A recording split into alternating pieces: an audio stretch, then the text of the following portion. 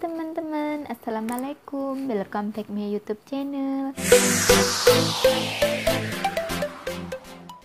Kali ini aku mau memberikan motivasi kepada teman-teman Baik merantau ataupun yang tidak merantau.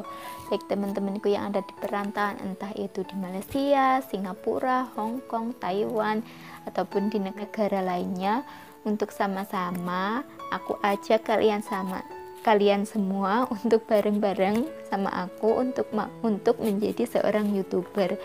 Karena menjadi youtuber itu bisa menghasilkan uang loh teman-teman. Dengan syarat kita bisa mencapai 1000 subscriber dan 4000 jam tayang.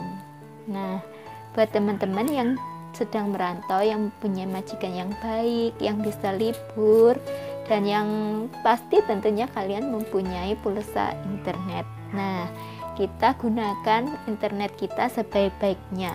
Yang pertama, kita di sini bisa belajar bagaimana menjadi seorang youtuber itu, bagaimana caranya membuat video yang baik, bagaimana membuat konten YouTube yang menarik, bagaimana cara mengedit video yang baik.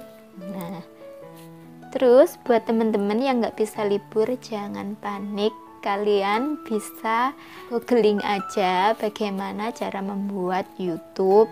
Terus bagaimana cara membuat konten YouTube dan bagaimana cara mengedit video. Nanti kalau kamu pulang di Indonesia nanti kalian bisa menerapkan semua ilmu-ilmu kalian yang sudah kalian pelajari untuk menjadi seorang youtuber. Dengan bagaimana kita pasang TV buka usaha buka warung kopi seperti warung kopi gratis gitulah.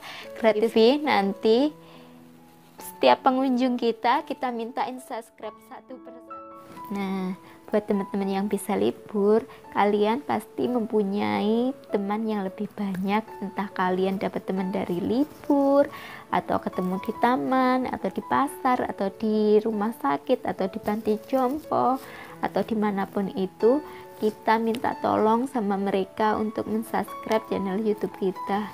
Meskipun itu nggak mudah, minta teman-teman untuk mensubscribe channel YouTube kita. Layaknya kita seorang pengemis, kita minta-minta sampai aku pun juga malu. Bagaimana lagi? Yakinlah semangat dan kerja keras itu tidak akan mengkhianati hasil. Kita harus tetap optimis, teman-teman. Semangat, semangat, semangat yang bisa libur, kalian bisa menggunakan kesempatan kalian libur untuk mereview tempat-tempat pariwisata di mana tempat kalian merantau. Kalian juga bisa membuat konten kuliner di mana tempat-tempat kuliner yang asik, yang unik, yang lain daripada yang lain yang murah ataupun yang mahal.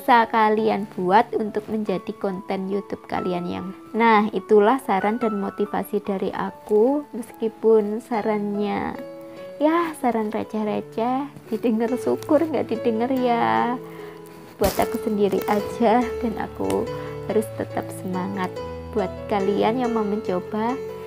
Tetap semangat dan sukses selalu buat kalian Nah, buat kalian, terima kasih yang sudah menyaksikan vlog aku kali ini. Terima kasih. Jangan lupa klik tombol subscribe, like, komen, dan juga aku ucapkan terima kasih untuk teman-teman yang sudah subscribe channel YouTube aku. Bye bye. Ketemu lagi di vlog aku selanjutnya ya. Bye bye. Terima kasih.